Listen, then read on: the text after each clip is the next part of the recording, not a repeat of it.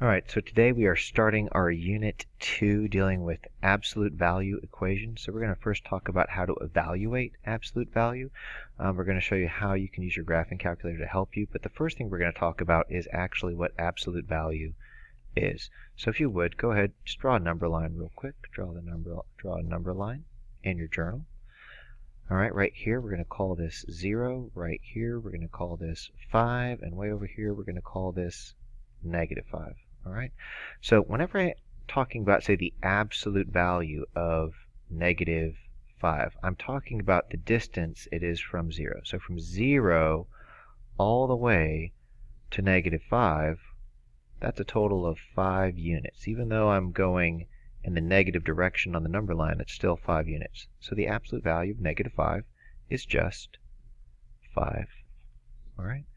However, if I was going to travel, say, 5 units in a positive direction, if I said, hey, what's the absolute value of positive 5? Well, that answer is just positive 5. So it's basically from 0, what is the distance of a number from 0? That's going to be the absolute value of that number. So hopefully that'll give you guys a quick little introduction to absolute value. Um, so on number one, we're going to do a couple of problems here. We're just going to look at number one. It says a is equal to negative 1. So wherever I see a, it's equal to negative 1. And c is equal to 5. So if we were to evaluate this, what we have to do is we have to evaluate whatever's inside of these absolute value bars. So I'm going to do 5 parentheses. I'm going to plug in a negative 1 then do minus 7, close it out. Then I'm going to add 3. Then I'm going to open up a parentheses.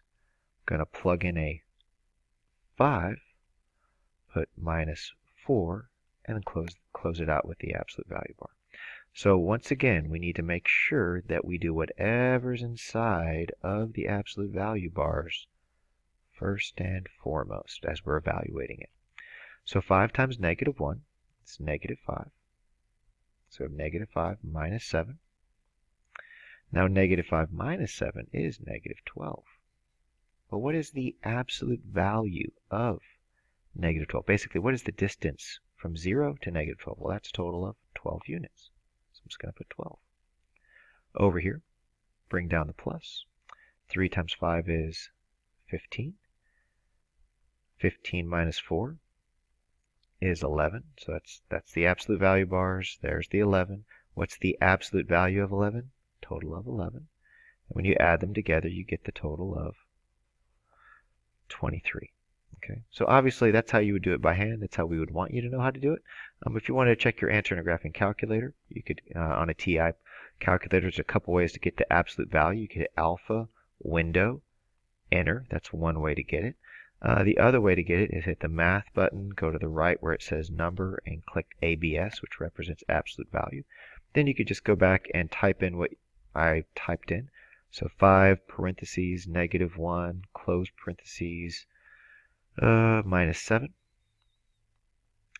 Then move a right arrow, put plus, then you could alpha window enter. And this time, it looks like we're going to put 3 parentheses, put 3 parentheses, and this was a 5 minus a 4. And yes, the calculator will do everything for you, and boom, you still get 23. But uh, obviously, I would like you to be able to do it by hand. Let's go and do one more. All right, and this one is probably even more important because some of you might be tempted, you might be tempted to try to take this negative 3 and this minus the subtraction and try to distribute, and we cannot do that, okay?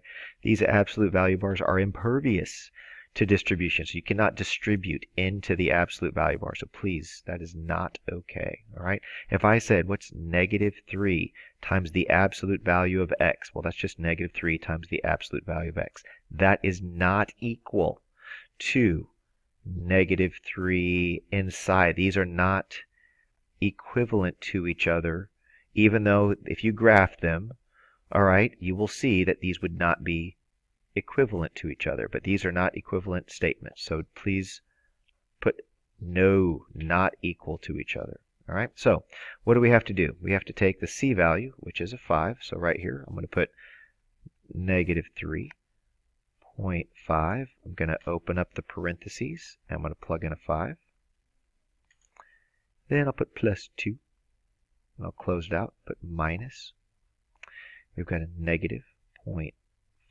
I'm going to open up for the b value. Ooh, we, got a new, we got a new, new player here, which is negative 8. I'll go and change the color here. So our b value is negative 8. So I got to plug that in there, just like I had to plug in the c value right there. Then I will close the absolute value. So here we go. Negative 3 times the absolute value of, so 0.5 times 5, that's half of 5. So half of 5 is 2.5. And 2.5 plus 2 is a total of 4.5 minus.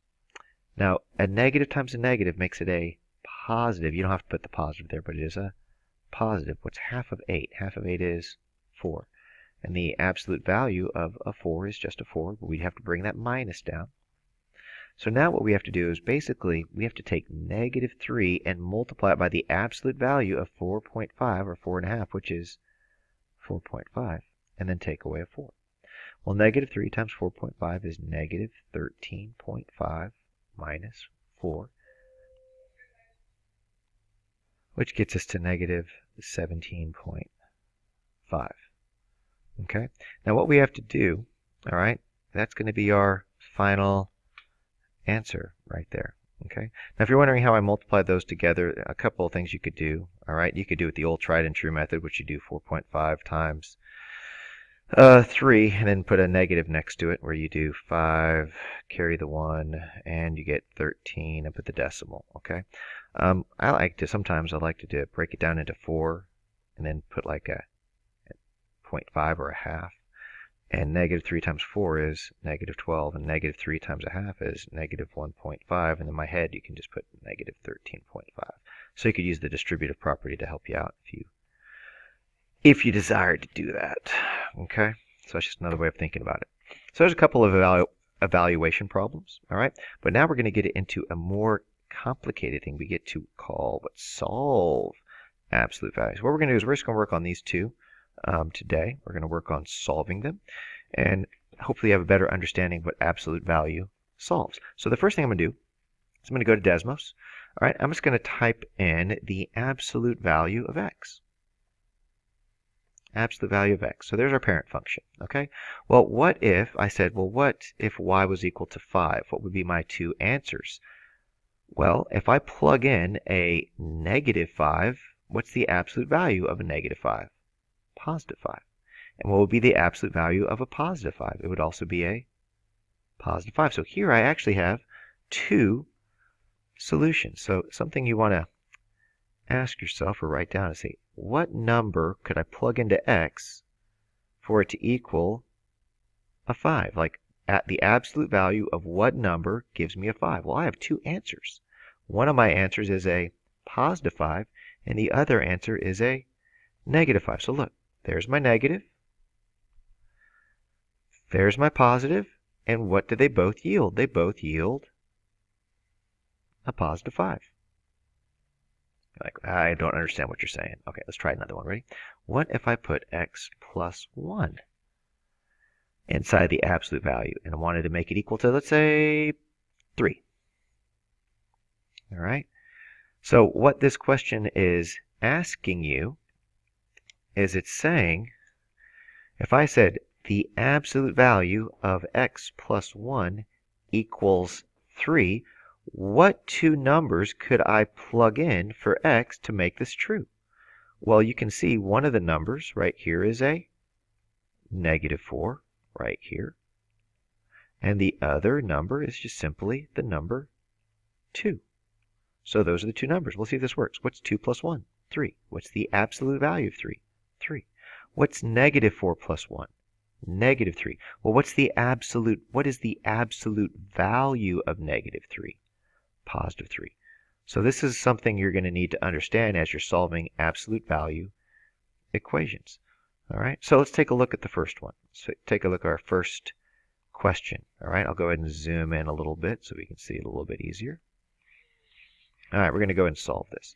Now, whenever you are solving an absolute value equation, you have to isolate the absolute value expression. So whatever's inside the absolute value bars, you're going to try to isolate that and get that by itself. So if you were taking notes in, say, like a math journal or something like that, step one, I'm going to put isolate the absolute value expression. And I apologize for my handwriting. There we go. So we're going to isolate that. Right now it's being multiplied by negative 3. So the very first thing I got to do is divide both sides by negative 3. So these negative 3's cancel out. And I am left with the absolute value of 4x minus 9 equals a negative 3. So what are we trying to figure out? We're trying to figure out like what number could you plug in for x to somehow equal a negative 8. Hmm, interesting. Well, the absolute value of any number can never equal a negative. All right, it can equal 0, but it can never equal a negative. So I'm going to have to say this is going to be no solutions. There, there can't be a solution to that. Or you could say it as an empty set, also known as a null set. All right, so this answer is no solution. Sometimes the answer in life is there is no answer. So what would this look like? Let's say if I wanted to graph it. All right, so here we go. Let's go and let's take a look at this graph so hopefully this will help you understand it. So right now, I'm going to put a negative 3 right here. And then I'm going to put 4x minus 9 so you can see. I'm going to type in 4x minus 9. All right, and then over here I'm going to put in a 24. 24. All right, and here, you can see the graph. Here's the here's the graph. It's right here. You can see it. And y equals 24 is way up there. Well, you will notice that 24 and this graph they never meet. If they never meet, there are no solutions. Now, how could it make it? How could I make it a solution? Well, I'd have to drop it down until it finally hits zero. Now it has one solution right about there. It's got one solution. Where would that solution be? That solution would be at a 2.252 and one quarter. Now, if I keep dropping it down, now I have two solutions. So now you can see this thing has two solutions right there and there. So as I keep doing that, so an absolute value can have two solutions. It could have one solution. Okay? Or technically it could have no solutions where it doesn't hit. And how do you know when you're doing it algebraically?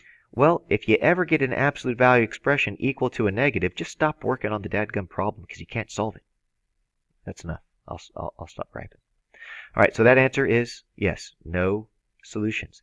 Well, let's go over to one where actually you actually have a couple of solutions. Let's go and do number six. So go ahead and put number six in your journal. If I'm going too fast, just pause me, write things down, and press play.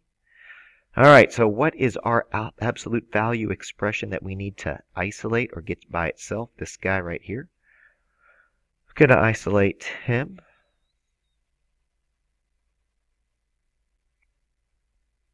Get him by himself.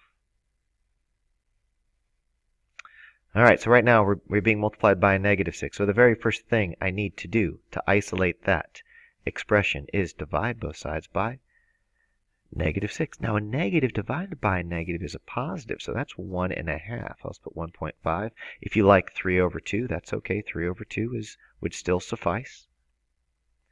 And that is equal to the absolute value of 5 minus 2y. All right, so we have the absolute value 5 minus 2y equals 1.5. Now, what number could you plug into absolute value bars to make it equal to a 1.5? Well, technically, you could put in a positive 1.5, or what else could you do? You could also put a negative 1.5. So what I'm going to do is I'm going to make this expression right here, I'm going to make this equal a positive 1.5, and I'm also going to make it equal a negative 1.5. So here's how it works. I'm going to split into a couple of equations. One's going to be positive, one's going to be negative. On one of the equations, I'm going to put 5 minus 2y equals a positive 1.5.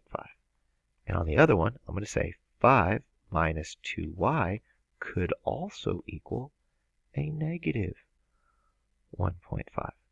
Now the, the good news is, is whatever I do to these equations, I'm going to do the exact same thing. So now you just, just now you're back in algebra 1, just solving for y. So we're just going to take away 5 from both sides. Take away 5, take away 5.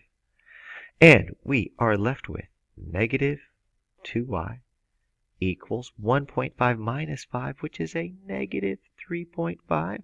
If you don't know how to do this in your head, it's okay. You can just put 1.5 minus 5 in the calculator, and voila, it spits out a negative 3.5 for you. So we're going to take that away, and we're left with negative 2y equals negative 6.5. And then, last but not least, we just divide everything by the number in front of the letter or the variable. So we divide everything by negative 2. All right? And you get y equals half of, these turns into a positive, half of 3.5 is 1.75, and half of 6.5 is 3.25. Just remember, a negative divided by a negative is a. So I have two answers. So what would my solution set be? My solution set would be 1.75 comma 3.25. These are the two answers that I could plug in to that absolute value equation and it would work. So I could plug in. What, what are my two answers? I could plug right in here for y. One of them could be 1.75. The other one I could plug in would be 3.25. And those are what's called my solution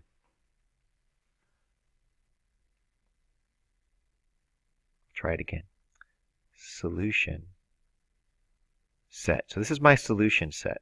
Okay, that I, numbers I could plug in to make this statement true. All right, so there's my solution set. Now, I'm going to show you how you can check your answers on Desmos, but please do not just use Desmos to get your answers. Otherwise, you're just going to be mathematically weak, and we wouldn't want that to happen in your life. So right now, what we're going to do is I'm going to go to, to Desmos. I'm going to type in the original equation. See that? Negative 6 5 minus 2y. Now, Desmos only graphs in terms of x, so I got to change that y to an x. So here we go. 5 minus 2x. I'm going to put 5 minus 2x. And what was our y value equal to? I believe it was equal to a minus 9. All right, so negative 9. Negative 9. There we go. Negative 9. Now look what happens when I zoom out. Oh, there it is. We have our two answers. What was one of our answers? 1.75. What's our other answer? 3.25. All right? So understand that this absolute value equation equals a negative 9 at two different x values. One of my x values being 1.75 and the other one being 3.25. I hope this was helpful and have a wonderful day.